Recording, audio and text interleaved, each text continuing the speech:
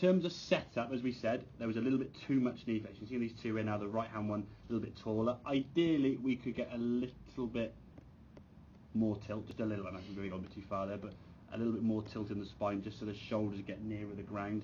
If you're flexing your knees as, as much as that, your spine's always going to be too upright, okay? Yeah. And then when your spine is too upright here, and you swing the golf club, that left arm gets low down here, and the club face now, if you can see, is in what we call a closed position. At this point, your club should be pointing more sort of down this way in line with your left arm.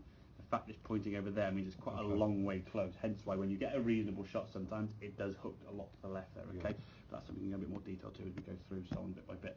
Okay, but swing wise now, we go through these sort of positions here now. That's why I said I'll go good, bad, good, bad, so you can feel the difference. There's kind of good. Okay, there that'd be perfect if that's better.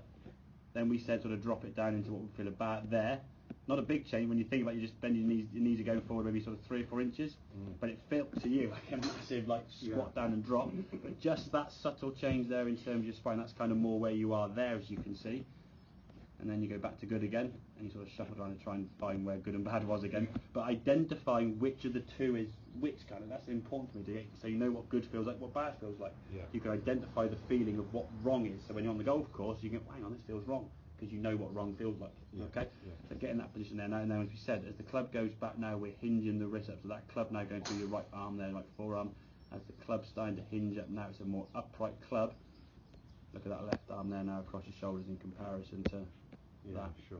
Okay. much higher left arm. Now, your left knee isn't bending quite so much because it's not bent at setup quite so much. There's a much more stable position there now. You've hinged your wrist more, hence why the club now sort of gone out of view there. It's actually gone to sort of the, the light there. That's where your club was before. You've now hinged your wrist. The club's going to go further. So you're going to create more power by hinging better. That's going to be another benefit, obviously. And with the angle of the club coming down to the golf ball now, you're able to bring that golf club down sort of halfway back into the impact now. That club now you can see is pointing at the golf ball. We're going to swing that club to the golf ball. If the club was to come in too flat, that's where the club's going to swing over here somewhere, above the golf ball, thus missing it or topping it, or requiring a, a drop into the ground Yeah. to try and make contact, which we don't want to be doing all the time. This will just come back down. You can just see sort of the, where your hands are there now. We go that to the golf ball. Your hands swing down that yellow line there Mhm. and the club just unwinds to the golf ball. So a very sort of efficient movement there at the golf ball, kind of if you're sort of straight up here going and doing this, as if you're hammering a nail into a bit of wood. You want to be going from in here trying to loop it in there. You're just in a straight line that way. Well, the swing is a circle around us, looking this way. There's a straightness in that line of the angle of that club going back in the golf ball. That's all being created by a better left arm position, getting your left arm higher. Now it can follow down that track. If your left arm's too low, you can't. You have to then try and re-wrap your left arm over the top of that. Well, if you're Mhm. coming down in from here now, as you can see, your left arm's underneath. So trying to get back onto that angle, it's going to be tough. Yeah. You're then trying to again compensate or judge something. So get the thumbs, the thumbs hinging up. That's going to get the club face working better and your left arm a lot higher. Then as we come into the golf ball now, we can get down to the golf ball. Again, good strike. The reason why some of the shots go left, as we said, the club gets a little bit in this sort of closed position, which we'll show in a bit more detail now.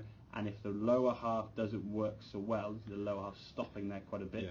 The top half now sort of overtakes the left arm, pulls with that left elbow popping out, pulls so you sort of flick it a bit to the left on occasions. Okay, but I think for me it's more focused on getting a consistent strike. Once you start getting a more confidence now with hitting a ball up in the air somewhere, rather than potentially sort of going here, there, and zigzag all over the place, Yeah.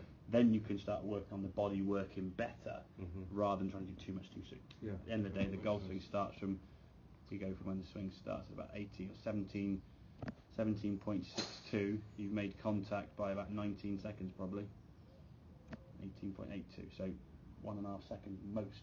What can you think about in one and a half seconds? I think thumbs up and a left arm across your chest is more than enough, Yeah, isn't it? yeah. Get that sort of synced up and in a sort of a muscle memory. A good draw you can practice actually. Let's just make some swings up against the wall there. So I'll show you how far from the wall you need to be. So you have to figure the arm going up a bit higher, not too far behind you. So if you imagine there was a wall, for example, sort of back here, your club would sort of swing back through and miss that wall.